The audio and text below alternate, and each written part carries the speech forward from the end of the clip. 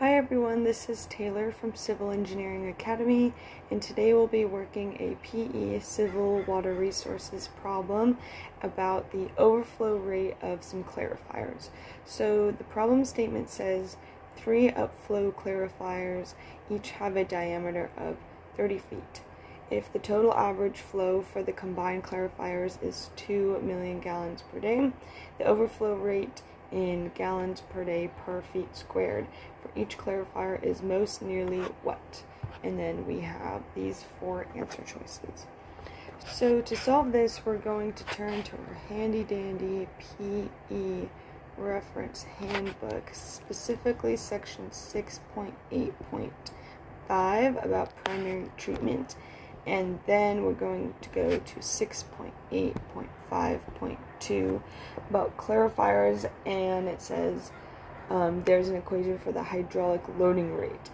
And that equation is V equals Q over A and they kind of use this V equals the hydraulic loading rate um, which is also called the surface overflow rate which is what we're looking for which is also equal to overflow rate. So a lot of textbooks use hydraulic loading rate or overflow rate kind of synonymously. So this B is what we're looking for. So we need Q and we need A, and that's what our units are in gallons per day per area. So the first thing we're going to do is find the flow per clarifier because we are asked for the overflow rate for each clarifier. So we have flow per clarifier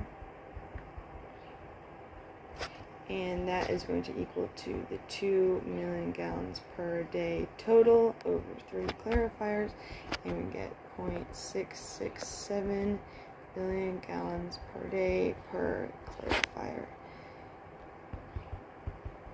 Okay, simple enough. And then we will just use this as our Q, plug that right into our ORF equation.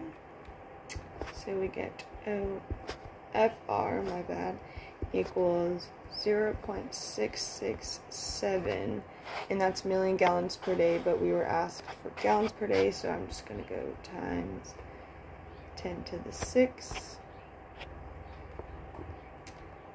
GPD per clarifier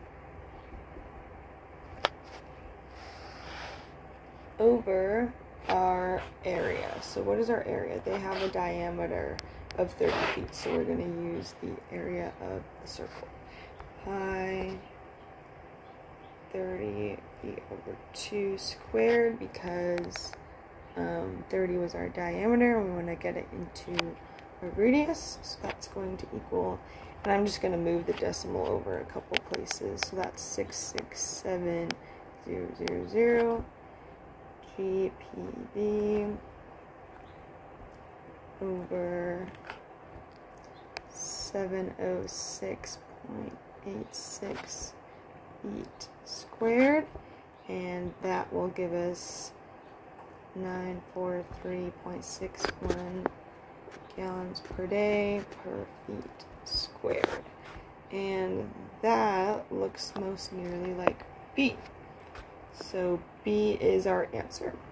So if you need any more help with studying for the PE Water Resources test, be sure to check out Civil Engineering Academy for any more study materials or courses to help you ace this exam the first time.